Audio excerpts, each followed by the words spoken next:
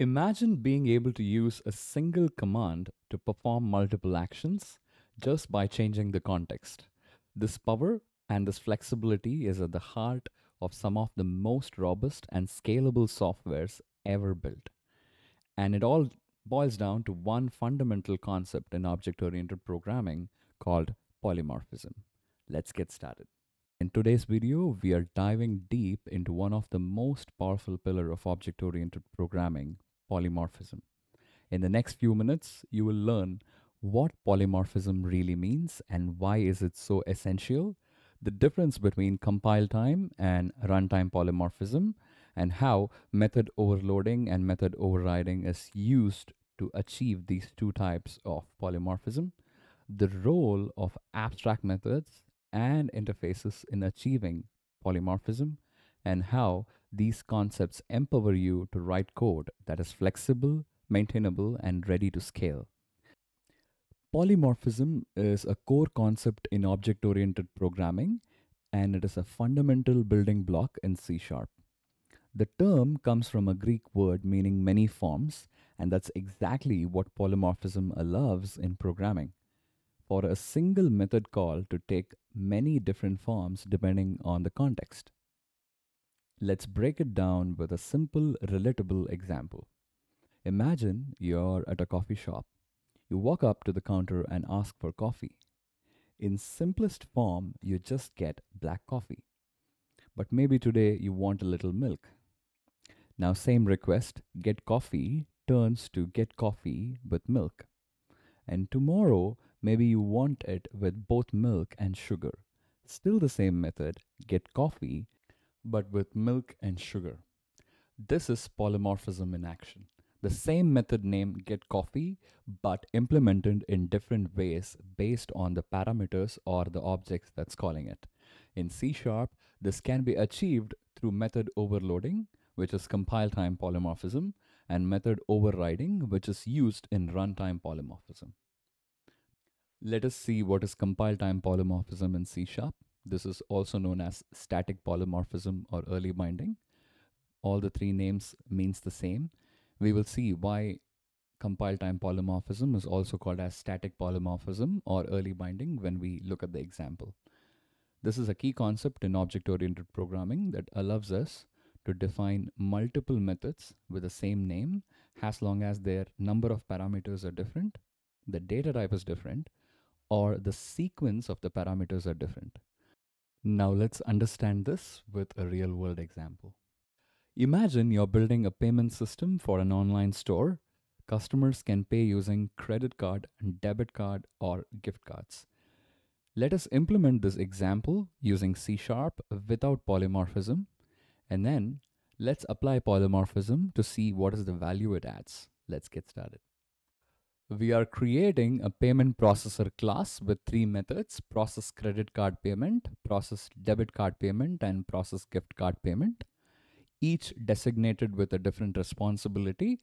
In the main, we are creating an object of the payment processor and consuming these three methods by passing their respective parameters. There is no problem in this code. It is going to work and going to produce the results that we need. But the point is, this can get better by applying compile time polymorphism.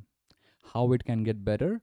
Instead of calling specific method names like process credit card payment, process debit card payment, or process gift card payment, we can abstract the idea of these three, call it process payment.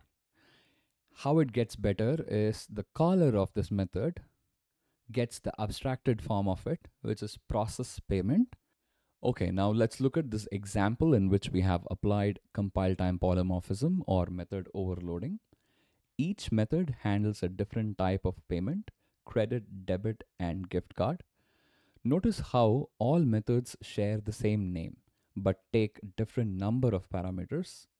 It can be it can differ in number of parameters, type of parameters, or the sequence of parameters, but still have the same name. When we call process payment, the compiler chooses the correct method at compile time based on the arguments passed. This is a clean and efficient way to handle different payment flows. And it shows exactly why compile time polymorphism is so useful in real application.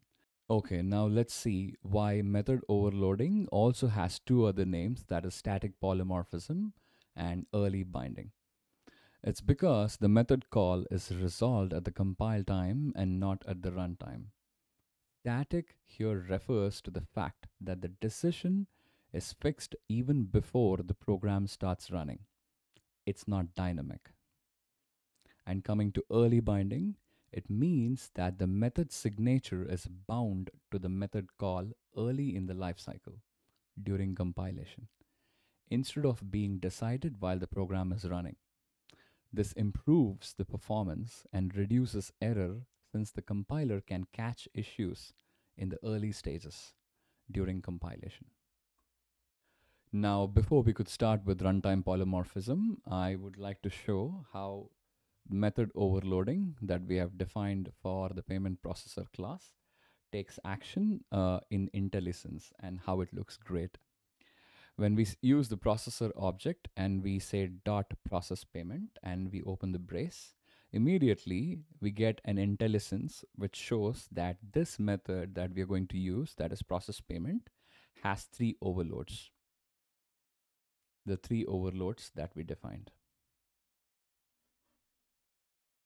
We completed looking at compile time polymorphism and how it is achieved using method overloading.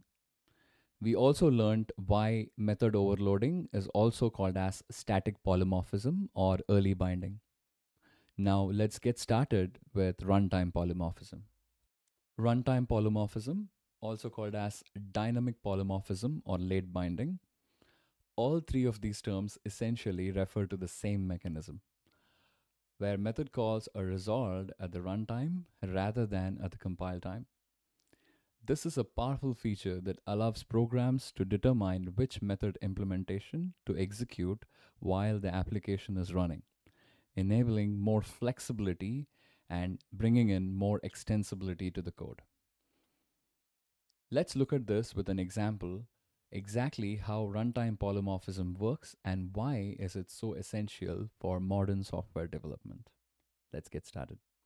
Now let's see how to apply runtime polymorphism with a real world example.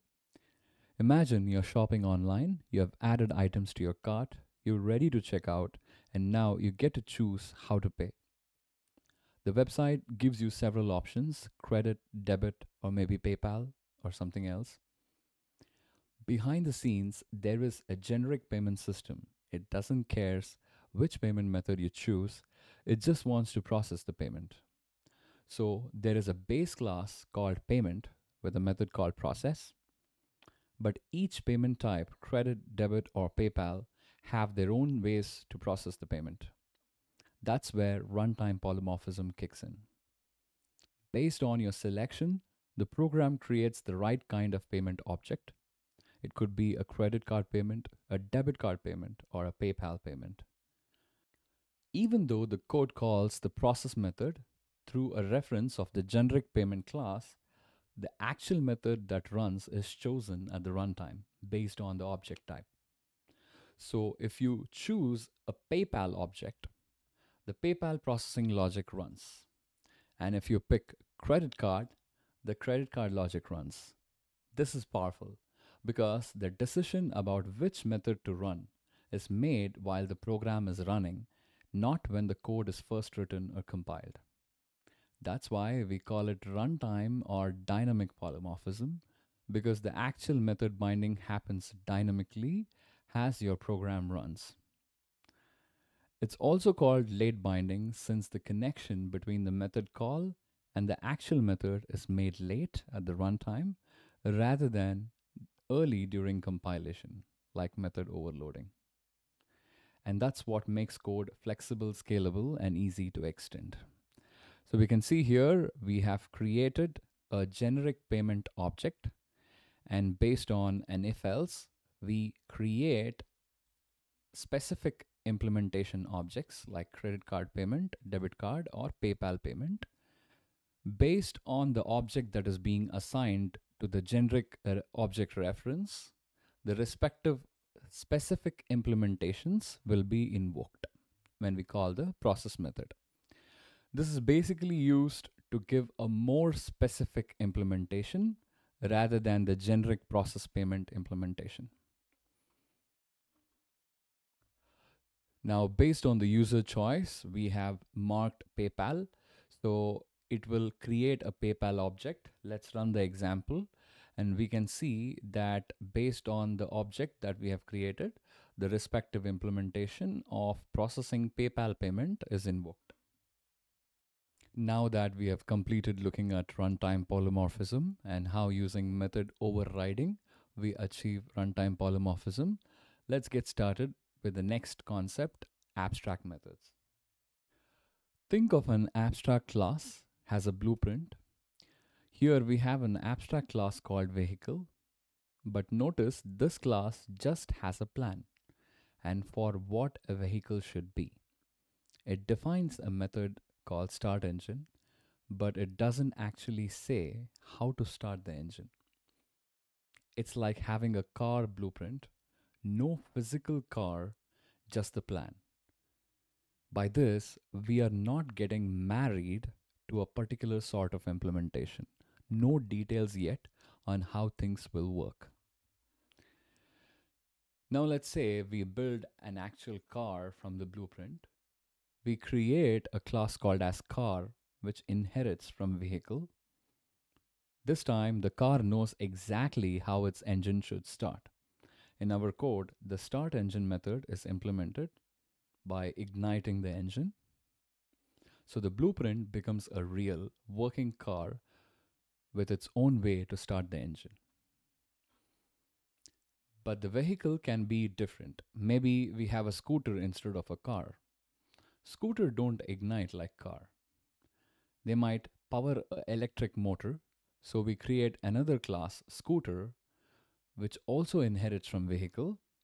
Here we override the start engine method to provide a more specific implementation for start engine, like powering electric motor. Now let's look at a code example of abstract method. We have an abstract class shape with an abstract method get area and a property color. Abstract classes are used mostly to define a base class with some base contracts and some base unimplemented abstract methods. We have circle and rectangle, which inherits from shape, giving their own specific implementation, how to calculate the area. And the base class just has an abstract method, which just has a declaration and no method body. And the child class gives specific implementation of how this method has to work. So we use a base reference and we assign respective objects, circle and rectangle. And based on which object is used to call get area, the respective implementation will get triggered. Let's run this example.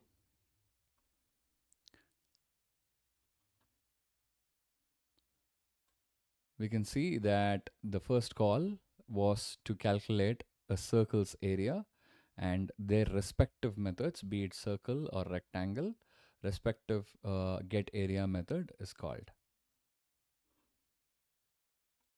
We looked at abstract methods. We understood how it works with some real world examples.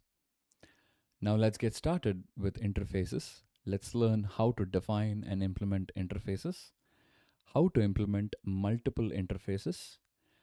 And when we are implementing multiple interfaces, there is a possibility of two different methods with the same name in two different interfaces.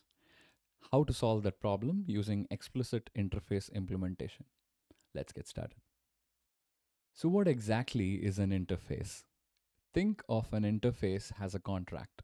It's a blueprint that defines a set of methods or properties but it does not provide the actual implementation.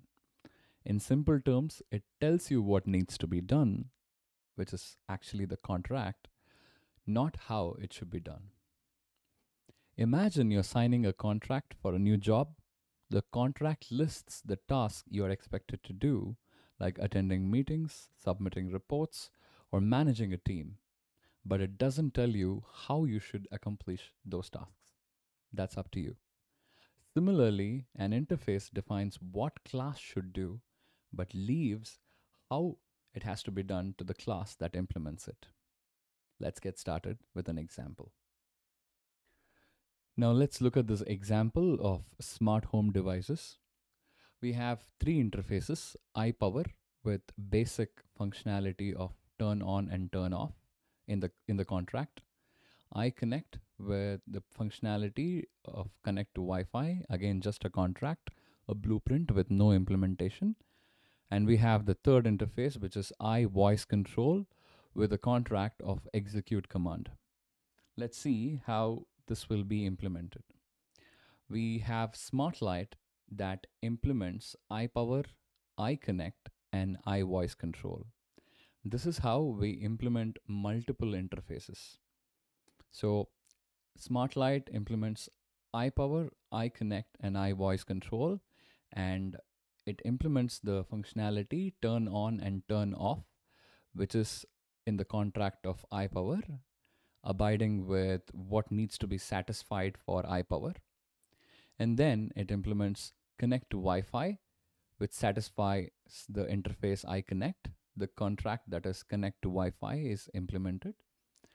And the third interface, which is iVoice control, is implemented, but we need to make a note that the way it is implemented is using iVoice control dot execute command.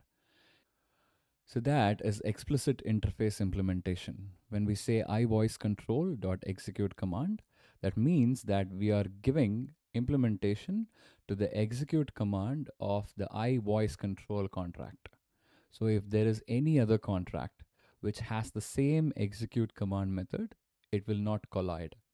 So if we don't do an explicit interface implementation, if you are inheriting from multiple interfaces, if there is two methods with the same name, then you will end up with a compile time error. So to avoid that, when we inherit from multiple interfaces, we use explicit interface implementation to avoid this error.